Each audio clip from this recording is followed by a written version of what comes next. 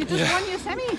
Oh man, real tired now. It was hell of a tough race. Just stoked to get a good race off for a change, and yeah, happy to uh, be in the A final. I'm really happy with that. Yeah, I just had a look at that semi. I thought pretty good opportunity here to make an A final. I just thought, oh, I'll just go for it, take the race as it comes, and see how it goes. And lucky enough, managed to make it to A final. So yeah, pretty stoked, man.